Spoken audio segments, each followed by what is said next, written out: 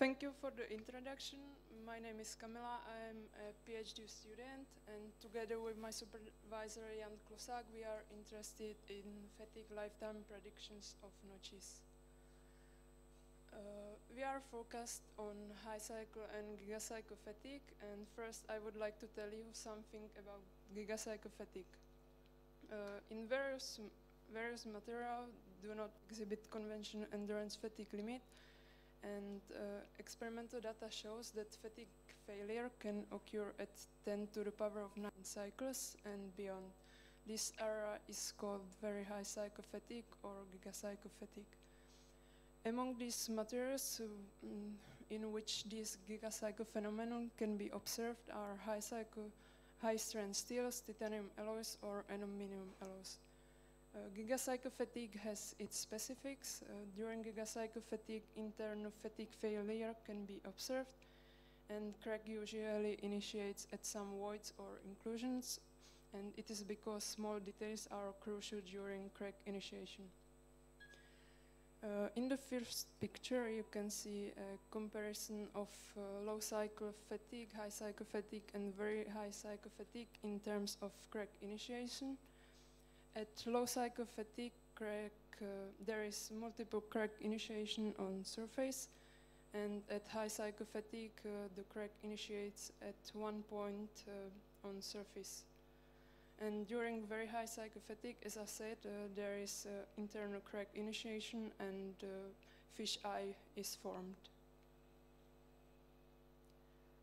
In our research, we use average opening stress for fatigue lifetime prediction and the results uh, depend on averaging distance which follows from experimental fatigue data and stress distributions.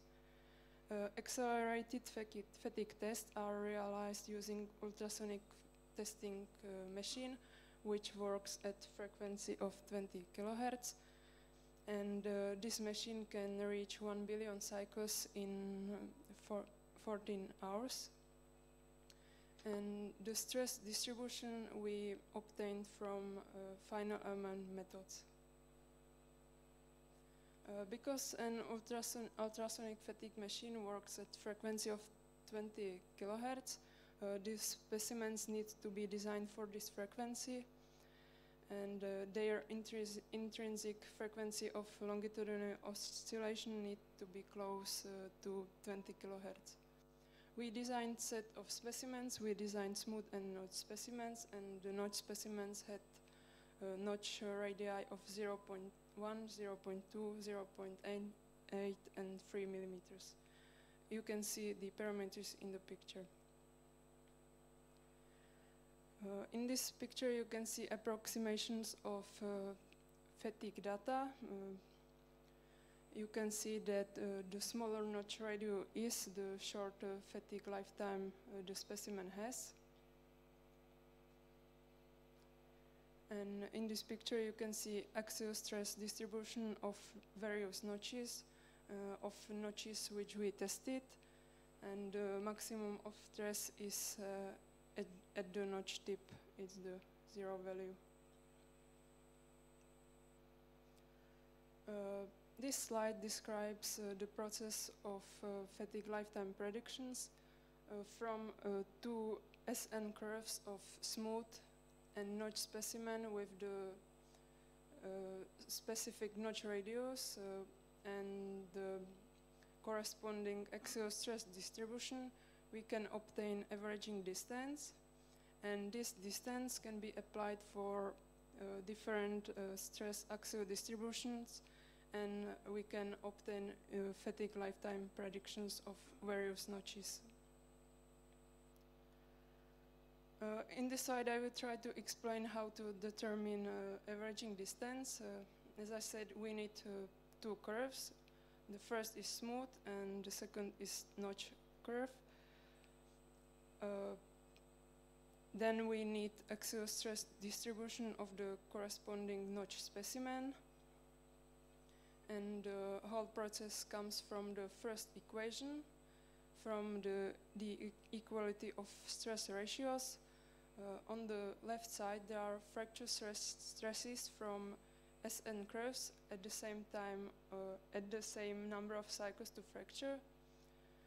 Uh, this is fracture stresses of notch specimen and fracture stress of smooth specimens.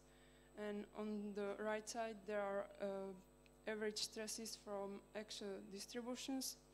Uh, the upper stress is uh, average stress over the whole cross section in the narrowest uh, diameter of specimen. And the lower stress is average stress over the averaging distance. Uh, this uh, lower stress is obtained from this equation because all other stresses are known. And when we know this stress, we can easily uh, find the averaging distance L from this equation.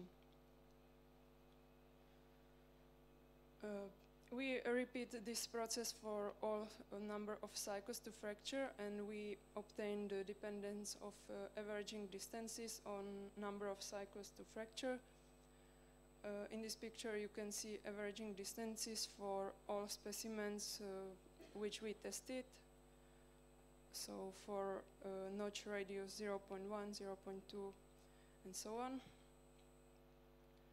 Uh, you can see that uh, averaging distances of uh, specimens with notch radius of 0.1 are quite similar to averaging distance of specimens with notch radius of 0.2.